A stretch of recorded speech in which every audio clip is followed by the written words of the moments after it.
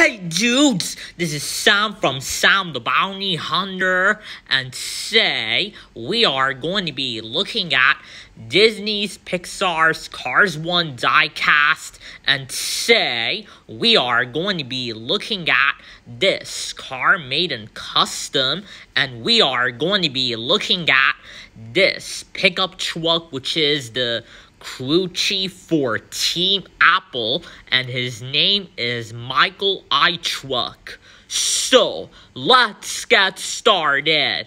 So, we're going to be looking at Michael ITruck. So, could you just see Michael ITruck? He is the Apple crew chief from Cars 1, and could you just see on his four wheels that are already painted white, and you just see, and on his sides, and even on other side, and even on the the hood side, it already just has the Apple logo, and um, and but he didn't. He is not seen in the Cars One movie, cause Mac iCar never has his pit crew, which is the Pitties and the crew chiefs. But good thing I just made this one custom and um and also the Apple Pitties that I made in custom. So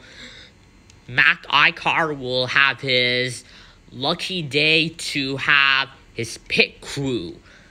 And actually, and this is my customized so I know how that I made in custom I you I got this one from eBay and then I used the headphones to stick it into glue to make it as the Cars 1 Apple crew chief but he was not seen in the Cars 1 movie and actually and this guy was replaced by Whitney Iwheel, the Apple crew chief from Cars 3.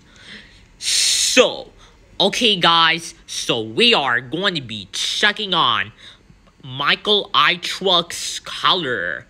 So we're going to be looking at Michael ITruck's color. So could you just see all of his face are already painted white.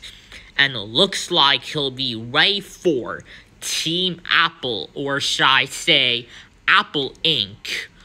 So, there you have it, guys. So, here is the Apple crew chief from Cars 1, Michael ITruck.